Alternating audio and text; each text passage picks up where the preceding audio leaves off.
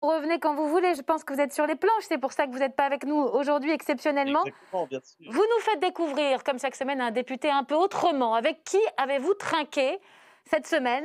Je le dis, je le dis, je préviens, parce que euh, vous, allez, vous avez trinqué avec un député non masqué.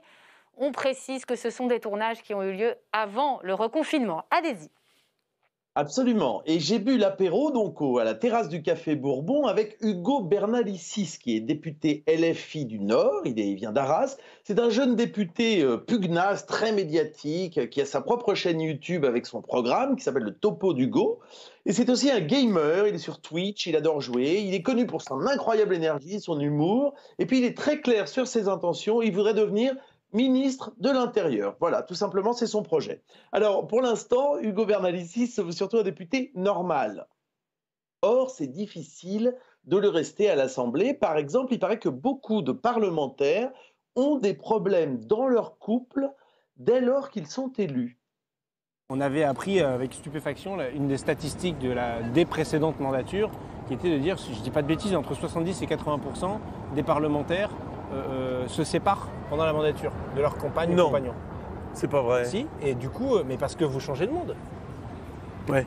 Enfin, vous changez de monde. Ouais. Vous voyez d'autres gens, vous êtes plus chez vous, vous êtes à Paris. C'est comment survivre à ça alors Ah, c'est de rester comme, euh, comme avant d'avoir été député, quoi. C'est-à-dire de continuer d'essayer de, de- de se préserver des temps qui soient similaires à ceux qu'on avait avant. Donc là, vous êtes bien là Ouais, non, mais là, c'est bien. Je me suis dit, bon, il y a bistrot et bistrot, on est quand même dans le 7e arrondissement. euh. D'ailleurs, le problème, c'est qu'à passer 20 heures quand la séance est terminée, c'est un peu mort dans le quartier. Quoi. Ah, c'est Donc, si- vrai. Si vous voulez sortir, c'est râpé, quoi. Alors, euh, Hugo Bernalicis, il essaye souvent de faire passer ses idées grâce à des jeux de mots, comme il en a fait la démonstration dans l'hémicycle en 2018, en se prenant pour Raymond DeVos, mais oui, à propos d'un texte portant sur la limitation de vitesse à 80 km/h. Regardez. J'ai bien vu que vous vouliez affirmer la priorité à droite. Une manière de mettre un frein au passage à 80 km/h décidé à contresens des enjeux. Bah, 10 minutes, j'ai fait 10 minutes de discussion générale. Il n'y a pas une phrase où il n'y a pas un jeu de mots. Et Sur les alors 80 km/h, bah, c'est pas mal. Ça rigolait Euh, Ça dépend qui, mais ouais, globalement, ouais. ouais. Ah J'aurais aimé être humoriste, Non. essayer de faire du stand-up, etc. Ah ouais, Ouais. Vous avez essayé ou pas? J'ai fait ça au lycée un petit peu, je fais des sketchs au spectacle de fin d'année. ouais. Et donc ça vous donne des ailes?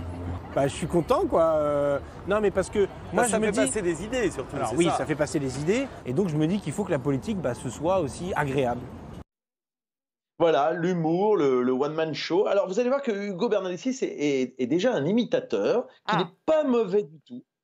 Et il n'a rien à envier, au, à envier au plus grand. Son seul problème, au fond, c'est qu'il n'imite qu'un seul personnage. Très bien, mais un seul. Démonstration. Écoutez, je pense qu'aujourd'hui, on peut plus dire ce qu'on veut. Je l'ai vu dans l'hémicycle. Dès que vous prenez la parole, vous critiquez le capitalisme, on vous met dans la case extrême gauche. C'est insupportable. Pas mal, hein? Non, c'est pas mal, c'est pas Ah non, non, mais c'est pas mal. Et à si vous voulez faire du one man, à mon avis. ouais, euh, mais je fais que Nicolas Sarkozy, donc ça, c'est- Est-ce que ça peut être un avenir pour vous? J'en sais rien. En tout cas, moi, je sais que l'humour, je l'utilise beaucoup. Et là, en l'occurrence, quand j'ai imité Nicolas Sarkozy, ça a servi parce que c'était un texte de loi sur la fonction publique. Tout le monde se foutait et très peu d'articles de presse sur le sujet. Je fais l'imitation, ça fait marrer tout le monde. Bim, plein d'articles de presse, Voilà. la loi fonction publique, machin, etc. Donc, euh, Donc c'est une arme. Oui, oui, et c'est moi. J'ai pas l'impression d'être quelqu'un d'autre en faisant ça, quoi. Je, me force pas. D'ailleurs, je, je suis plutôt obligé de me réfréner la plupart du temps.